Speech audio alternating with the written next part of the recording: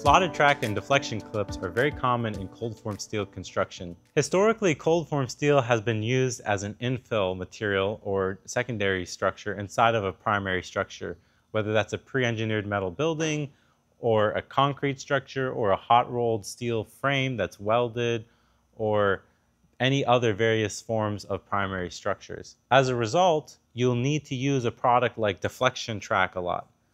So a primary structure may deflect or bend at a different rate than the cold form steel will, especially than the drywall on the cold form steel.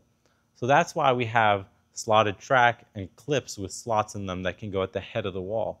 This allows for movement in the primary frame due to weight or heat, let's say like in a parking garage where you have cars rolling over it, and so then you don't want your drywall to crack. Slotted deflection track and deflection clip prevent both the drywall and the studs from damage in a building where the metal studs are the secondary frame. The slots in the track and the clips allow for the head of the wall, meaning the top of the wall where it's attached to the primary frame, to move with the frame as opposed to potentially damaging the drywall and the metal studs in the wall. Slotted deflection track is installed like normal track you simply lay out your wall and put it where it needs to be at the top and you nail it or screw it in.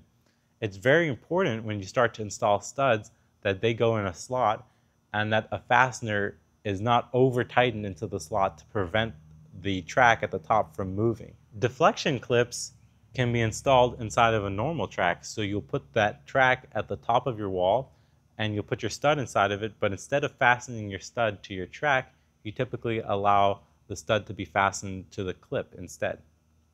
And the slots in the clip allow for movement. Make sure you don't over tighten the fasteners from the deflection clip to ensure that the stud can still move relative to the head of the wall. If you're an architect or engineer and you're unsure of whether to use slotted track in your application, please reach out to our team and we'll give you our best advice on to whether or not it's a good application for slotted track. If you're looking to buy slotted track, please visit our website and reach out to our sales team and they can provide you quotes for slotted deflection track. You can also buy deflection clips on our clips website.